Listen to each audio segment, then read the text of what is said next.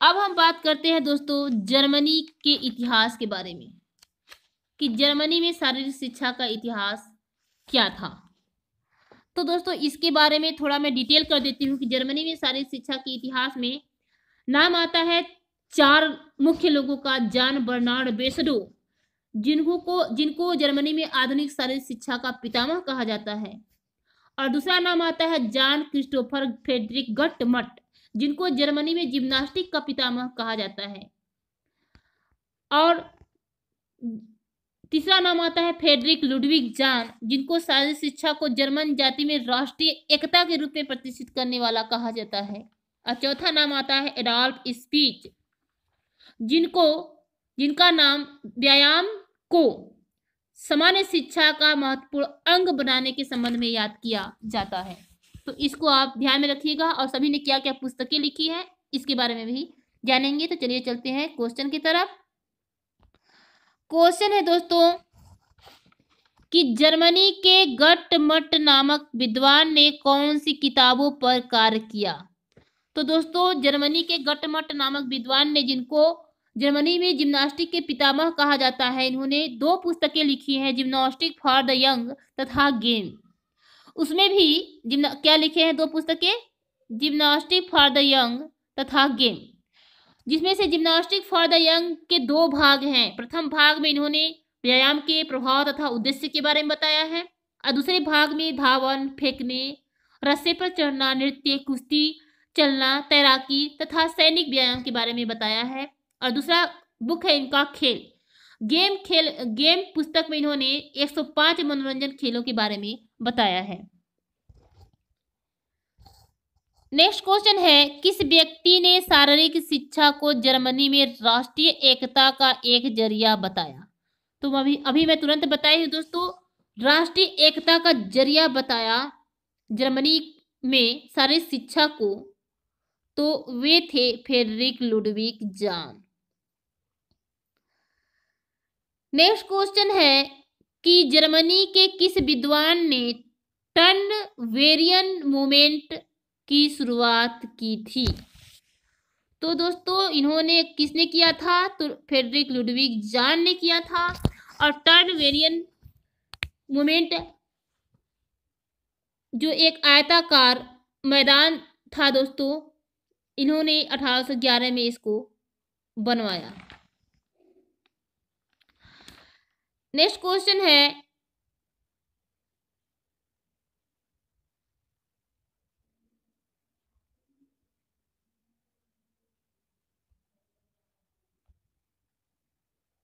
Next question है।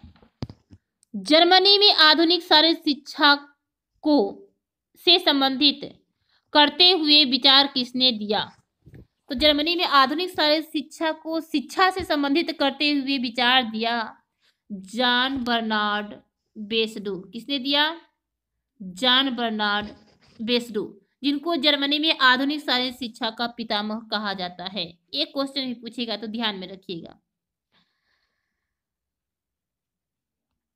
Next question है कि सत्रह रस, में रसिया के नक्शे कदम पर चलते हुए जर्मनी के डेसू नामक स्थान पर नेट्रे नेचुरलिस्टिक स्कूल को किस नाम से जाना जाता था? तो इसको जाना जाता था फिलेंथ्रोपियम के नाम से दोस्तों। जैसा कि इसको बनवाया था किसने? जान बर्नार्ड बेसडू ने जिनको जर्मनी में आधुनिक शारीरिक शिक्षा का पितामह कहा जाता है। इन्होंने ही सत्रह सौ चौहत्तर में रस, रसिया के यानी कि रूस के नक्शे कदम पर चलते हुए एक देसु नामक स्थान पर सत्रह में प्रकृतिवादी पाठशाला फिलेंथ्रोप्रियम बनाया था। तो किसने बनाया था? जॉन बर्नार्ड बेसडो ने।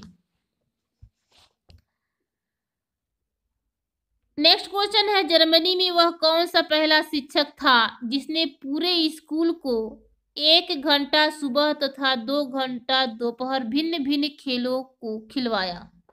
तो वह कौन था? शिक्षक था, वह था जॉन साइमन। कौन था? John Simon.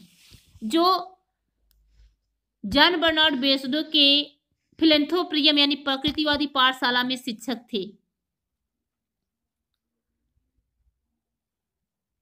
नेक्स्ट क्वेश्चन है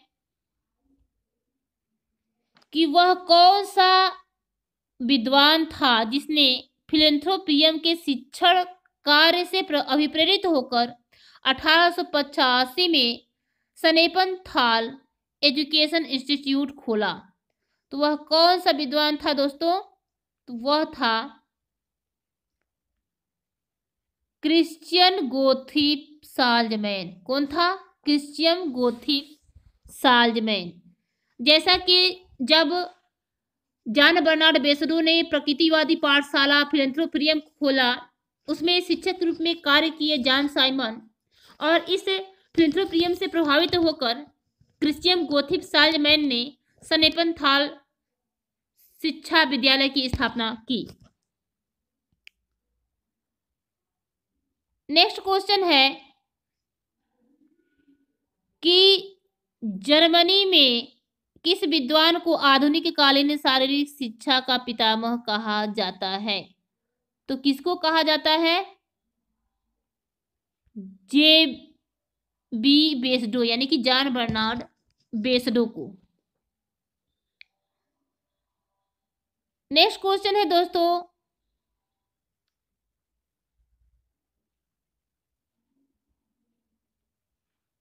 कि जर्मनी जिम्नास्टिक का ग्रैंडफादर किसे कहा जाता है?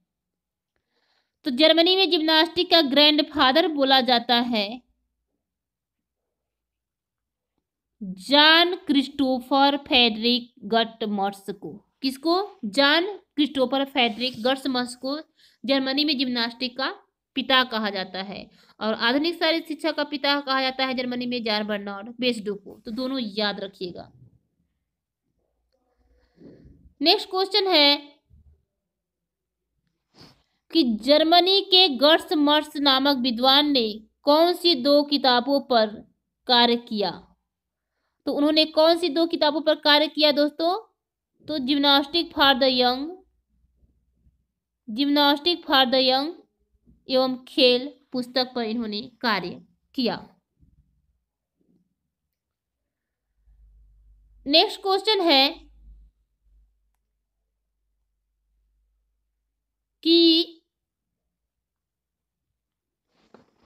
किस व्यक्ति ने शारीरिक शिक्षा को जर्मनी में राष्ट्रीय एकता के एक ज़रिया बताया।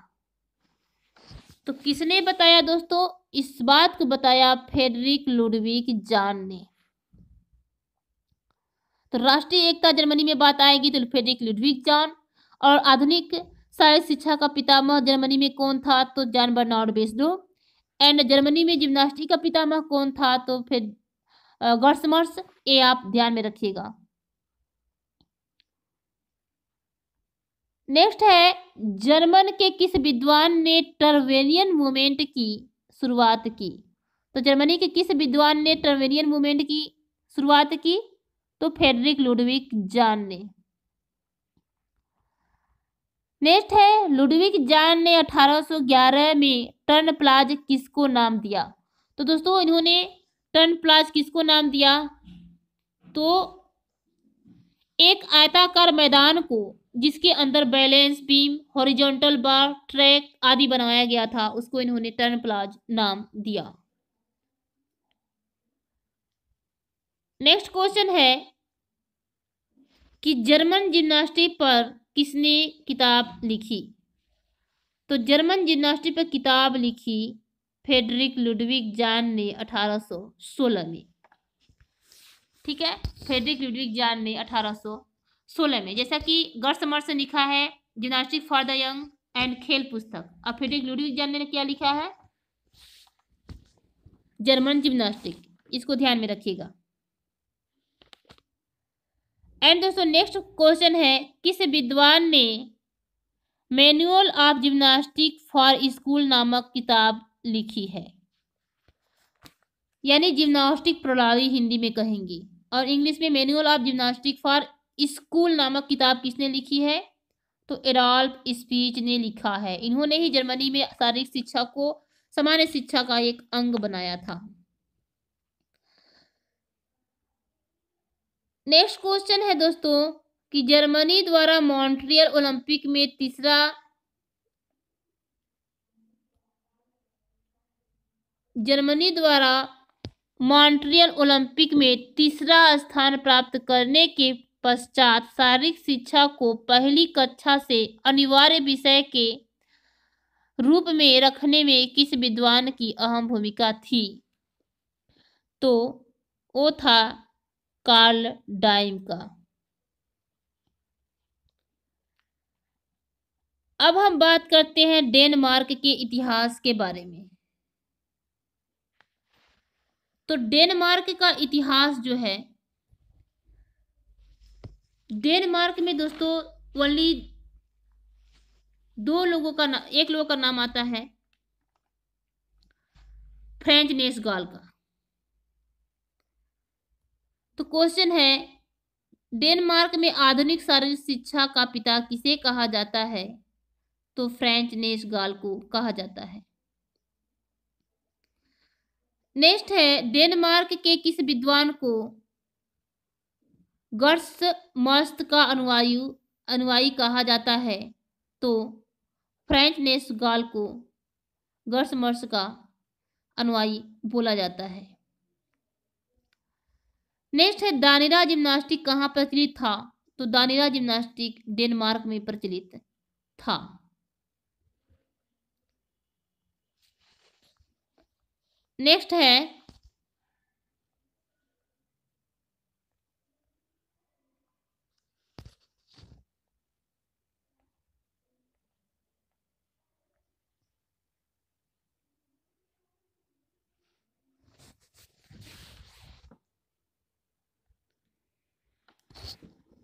नेक्स्ट है दोस्तों, स्वीडन का इतिहास। जैसा कि दोस्तों, स्वीडन के इतिहास में दो लोगों का नाम मेन रूप से आता है पन हैरिक लिंग और जालमर लिंग। और इस स्वीडन के इतिहास से क्वेश्चन हंड्रेड परसेंट हर बार पूछा जाता है। तो आपको स्वीडन के इतिहास के बारे में विशेष रूप से जानना चाहिए। तो सबसे पहले बात करते हैं, पर हेनरी ग्रीन से शुरू करते हैं। तो क्वेश्चन है कि स्वीडन में आज शारीरिक शिक्षा को ऊँचा दर्जा दिया जाना, दिए जाने में किस विद्वान का हाथ था? यानी स्वीडन में शारीरिक शिक्षा को ऊँचा दर्जा दिलाने में किस विद्वान का हाथ था? तो पर हेनरिक लिंग का। नेक्स्ट है दोस्तों, कि पर हेनरिक लिंग ने जिम्नास्टिक को कितने समूहों में बांटा था? तो इन्होंने जिम्नास्टिक को चार समूहों में बांटा था। कौन कौन से दोस्तों? शैक्षिक जिम्नास्टिक, सैनिक जिम्नास्टिक, स्वास्थ्यवर्धक जिम्नास्टिक, कलात्मक जिम्नास्टिक। इस चार भागों में पर हेनरिक लिंग ने जिम्नास्टिक को बांटा था। नेक्स्ट है कि पर हेनरिक लिंग द्वारा शरीर को मजबूती देने के लिए, गलत आसन को रोकने के लिए जो अभ्यास बनाए, उनको क्या नाम दिया गया? तो उनको नाम दिया गया फ्रॉम गिविंग मूमेंट। नेक्स्ट है, पर हेनरिक लिंग की याद में उन्नीस सौ उनतालीस तथा उन्नीस सौ उनचास में उनकी बरसी के दिन कौन सा समारोह आयोजित किया गया? तो कौन सा समारोह आयोजित किया गया था दोस्तों? तो द लिंग यार्ड ठीक है? तो लिंग यार्ड आयोजित किया गया था पनहैरिक लिंग के बरसी के लिए, उसके मृत्यु दिवस को याद करने के लिए यह आयोजित किया गया था। उसके पुत्र जालमर लिंग के द्वारा, यानी पर हेनरिक के पुत्र जालमर लिंग के द्वारा किया गया था। एंड नेक्स्ट क्वेश्चन है दोस्तों, कि हनुमान व्यायाम नेक्स्ट क्वेश्चन है कि हनुमान व्यायाम प्रसारक मंडल अमरावती की एक टीम ने किस लिंगयार्ड में भारतीय संस्कृति व उसकी पद्धति का प्रदर्शन किया था? तो किस लिंगयार्ड में किया था? तो यह उन्नीस सौ उनचास सेकेंड लिंगयार्ड स्टॉक होम में किया था। वेरी वेरी इंपॉर्टेंट क्वेश्चन है।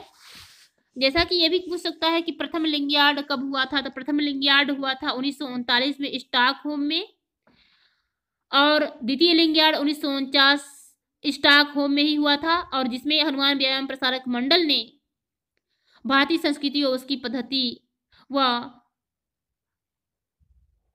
मलखम्ब आदि का प्रदर्शन किया था। तो ये आपको वेरी इंपॉर्टेंट है। नेक्स्ट हम बात करते हैं कुछ इन्हीं विश्व इतिहास में शारीरिक शिक्षा से रिलेटेड जनरल क्वेश्चंस जिसमें से क्वेश्चन है कि निम्न में से किसने ओलंपिक मसाल को एथेंस से आयोजित स्थल तक लाने का प्रचलन शुरू किया? तो इस चीज़ का प्रचलन शुरू किया कार्ल डाइम ने। नेक्स्ट है, अंतर्राष्ट्रीय ओलंपिक समिति का मुख्यालय कहाँ स्थित है दोस्तों? तो स्विट्जरलैंड में। इसकी स्थापना कब हुआ था? अठारह सौ चौरानवे में। ठीक है? नेक्स्ट है दोस्तों, किसने स्थापना किया था? तो किसने किया था स्थापना? ओलंपिक के पितामह किसे कहा जाता है दोस्तों? आधुनिक ओलंपिक के पितामह पीरे डी कुबर्टिंग को इन्होंने ही अंतर्राष्ट्रीय ओलंपिक समिति यानी कि इंटरनेशनल ओलंपिक कमेटी आईओसी की स्थापना किया था अठारह में।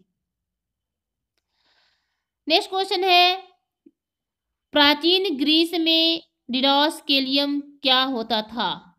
तो प्राचीन ग्रीस में डिडॉस केलियम जो होता था, वो संगीत विद्यालय हुआ करता था। नेक्स्ट है प्राचीन ग्रीस में गॉड ऑफ़ हीलिंग किसे माना जाता था? तो प्राचीन ग्रीस में गॉड ऑफ़ हीलिंग जीएस देवता को कहा जाता था। नेक्स्ट है दोस्तों, कि लेजियम की स्थापना किसने की थी? तो लेडियम की स्थाप लेजियम की स्थापना किया था एरिस्टोटल, यानी कि अरस्तु ने। उन्हीं को एरिस्टोटल भी कहा जाता है। नेक्स्ट है प्राचीन रोम में कैंपस मार्टियस क्या होते थे? तो सैनिक मैदान को प्राचीन रोम में कैंपस मार्टियस बोला जाता था। नेक्स्ट है, प्रथम स्पेशल ओलंपिक कहाँ हुए थे? तो यूएसए यानी अमेरिका में हुआ था। नेक्स्ट है, टर्नवेरियन मूवमेंट जर्मनी में। किसने शुरू किया था? ये क्वेश्चन कई बार रिपीट हो गया, इसको शुरू किया था लुडविक जान ने फेडरिक लुडविक जान ने।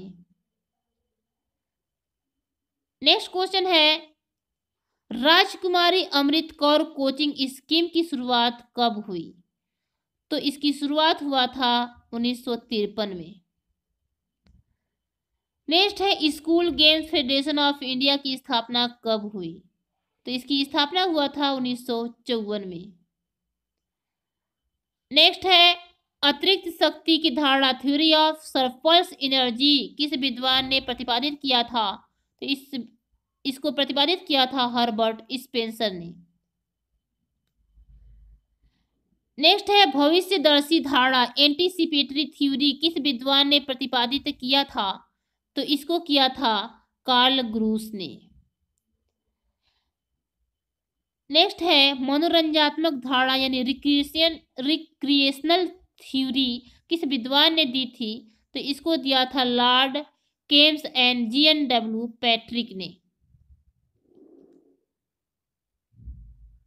नेक्स्ट क्वेश्चन है कि पुनः अवलोकन धारणा, पुनः अवलोकन धारणा यानी रिकैपिचुलेटरी थ्योरी किस विद्वान ने दिया था दोस्तों?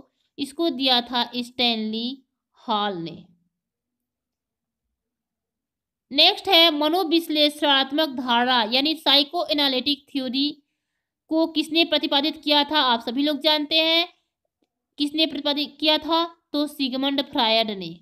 इन्होंने ही मन को तीन भागों में बांटा है id ego and super ego. Next है दोस्तों, सामाजिक धारणा, यानी कि सोशियल थ्योरी का सिद्धांत किसने प्रतिपादित किया था?